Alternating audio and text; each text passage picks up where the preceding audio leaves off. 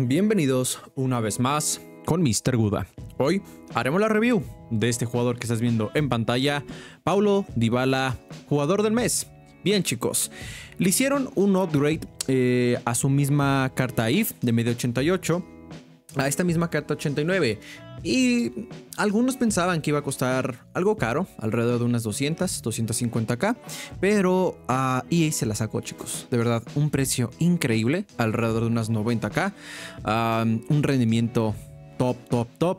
Más de 6 partidos lo probé en la jornada de Food Champions. Anotó 11 goles y dio 4 asistencias.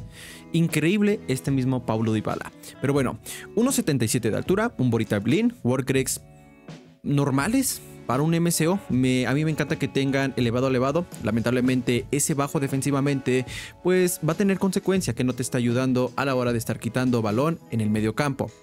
Así que eh, eso chicos, 4 estrellas de skills, 3 estrellas de pie débil, tipo de aceleración mayormente explosiva, posiciones alternativas tenemos DC, MCO y MP, estilos de juego, tiro colocado, tiro bombeado, balón parado, eh, técnico chicos como Playstyle Plus tenemos elegante, primer toque, trivela y acrobático.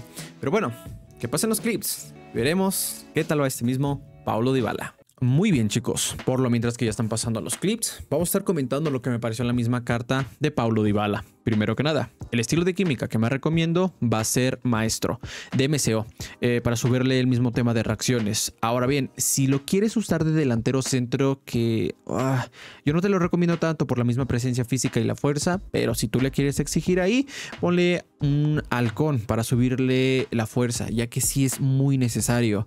Ahora bien, Preguntas antes de empezar la misma review que siento ah, que van a ser bastante común. ¿Es mejor que Greasy, POTM o el IF eh, de MCO?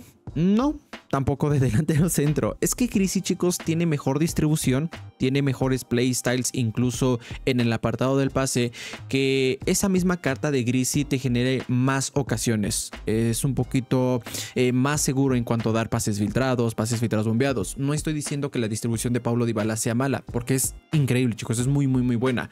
Muy al nivel de un mismo Frankie de Young Trueno, por decírtelo así, ¿sabes?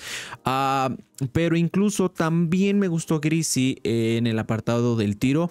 Es un jugador que tiene mayor compostura que Dybala.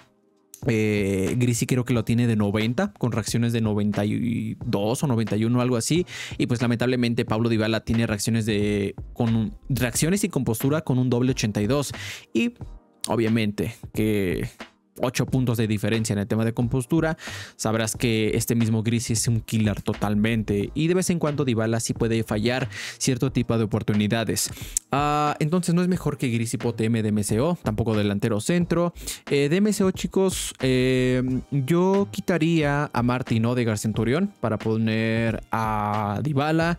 Eh, es mejor que también que cartas como Talisca, Radioactive, es mejor que también que Musiala, a Centurión, que Bruno Fernández de la Champions. A mí me gusta más Dybala en el rol de un MCO, eh, ya que Bruno C. Fernández va a un perfil más box to box. ¿Y por qué me gusta más Dybala que Bruno Fernández de MCO, mm, chicos? Porque Dybala tiene más ritmo y tiene más regate, y eso se nota demasiado eh, para esquivar dos, tres jugadores, incluso adentrarse al área.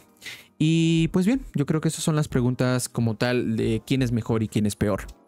Ahora, vámonos a las cosas positivas de la misma carta de Dybala. Primero es el tema del dribbling. Es un jugador asqueroso, chicos. Es un dribbling fantástico. Aquí sí le doy un punto a favor a este mismo POTM que las cartas de Greasy POTM o el IF. El dribbling, chicos, de Dybala es una auténtica locura. El mismo play está el plus de Flair. Se siente eh, increíble, chicos. Es muy fácil quitarte pivotes, eh, defensas centrales, incluso adentrarte al área. Es un jugador espectacular y muy, muy técnico. La distribución, como lo dije, no tiene mejor distribución que un Gris POTM, pero lo pondría muy al nivel de un mismo Frankie de Young. Eh, trueno, chicos. Esa visión de 95, el pase corto de 90, hace que esta distribución de Paulo Dybala en cuanto a crear oportunidades y tener pases finales sean grandiosas.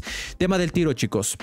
Muy completo, muy, muy completo. Sobre todo, eh, me vino mucho a la mente eh, la zurda de Lionel Messi, obviamente la carta de oro, ya que este Paulo Dybala, los tiros de larga distancia son son top, chicos. Top, top, top. Se le sienten muy marcado la estadística de, de 94 en long shots, muy bien combinado con dos cosas. El play está el base de tiro colocado y sobre todo la curva de 93. Cuando Dybala finaliza con la pierna izquierda, chicos, increíble. Sobre todo dentro del área también. Si quieres estar definiendo incluso con Trivela, el típico tiro de tres dedos, delicioso. Eh, algo que podría también añadir, chicos, y que siento que puede ser una pregunta, es de que si se le nota la compostura que es de 82. Ah, porque la carta de Memphis Depay, algunos eh, saben que, bueno, las personas que hayan probado a, la, a dicha carta, que tiene esta misma compostura y que falla muchísimo, muchísimo y muchísimo. ¿Le pasa esto a Dybala? La verdad es que no. Con Dybala lo sentí un poquito más seguro. Es un jugador que no me dio miedo a la hora de finalizar. Incluso la compostura le pondré como un 85, un 86 fácilmente, chicos. Las reacciones de 82 se sienten más elevadas. Eh, yo siento por el mismo body type y los mismos play style plus que posee este mismo POTM. Tema de ritmo, chicos, la zancada es impresionante en espacios cortos. Lamentablemente en carreras largas Ahí puede decaer un poquito, no lo recomiendo de extremo y si lo vas a usar de delantero centro, no trates de enviarle espacios filtrados eh, como tal porque defensas centrales de carreras largas como Vidic, Virgil van Dijk y Blanc lo pueden coger fácilmente. Ah, ahora, por último, aspecto del físico. Eh, hay una cosa positiva pero también una cosa bastante marcada que es muy negativa. El balance de 93 hace que este mismo jugador cuando esté dribleando eh, sea muy complicado quitarle lo que es la posición, ya que ese balance se siente increíble chicos. Lamentablemente eh, cuando no esté dribleando y se la pase caminando o incluso en carrera, la fuerza de 63 es una cosa bastante fea. Eh, es muy fácil quitarle la posición a Dybala por un mismo, por una misma entrada de tackling, ¿sabes? Y sobre todo con jugadores grandes y fuertes, pivotes como De Jong, Trueno, Bellingham, chicos, defensas centrales como Van Dyke, Vidic, Blanc. Eh, para ellos es es mantequilla esta misma carta de Dybala. Otra cosa negativa en el aspecto del físico, chicos, es que lamentablemente solamente te va a durar los 70 minutos del partido por esa energía de 76. Por esto y más, por el precio, rendimiento, Dybala es una carta espectacular, chicos. En conclusión, ah, tenemos para mí uno de los mejores SBCs en cuanto a la dinámica de los POTM.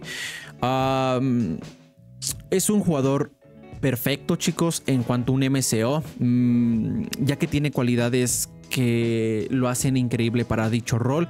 Un tiro espectacular fuera y dentro del área. Sobre todo, chicos, los tiros de larga distancia con la zurda son una asquerosidad. Una distribución muy top. Eh, lo vuelvo a repetir, no es mejor que Gris Poteme ni el mismo If, pero sí está por encima de cartas como Memphis Depay, Bruno Guimaraes, a Martin Odegaard incluso. Eh, el ritmo me parece muy bueno en espacios cortos, tiene una zancada muy buena. Ah, lamentablemente en carreras largas ahí es donde ya puede decaer lo que es el mismo POTM. Ah, el tema de dribbling, uno de los mejores dribblings que he probado. Es muy fácil controlar a Dybala, esquivar dos, tres jugadores, adentrarte al área es facilísimo con dicha carta.